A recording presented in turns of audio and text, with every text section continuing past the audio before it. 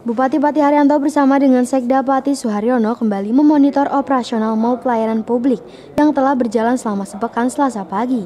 Meski telah beroperasi selama sepekan, semua alat-alat maupun sarana prasarana di dalam gedung MPP ini selalu dilakukan pemantauan.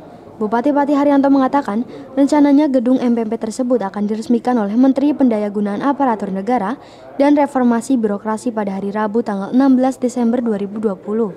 Baik, jadi eh, MPP besok pagi diresmikan Pak Menteri ya. Kita mulai tanggal 7 Desember kemarin sudah kita berupaya dioperasionalkan sekalipun belum secara keseluruhan.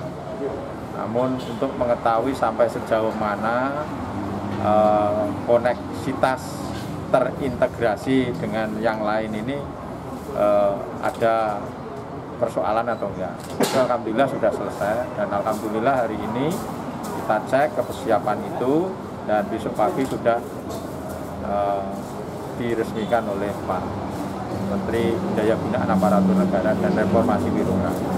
Berdasarkan pantauannya secara langsung, MPP telah dapat berjalan sepenuhnya dalam memberikan pelayanan. Oleh karena itu, pihaknya menyebut bahwa MPP telah siap untuk diresmikan.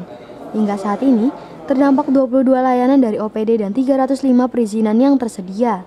Namun, pihaknya tidak memungkiri bahwa dari jumlah tersebut masih dapat terus bertambah.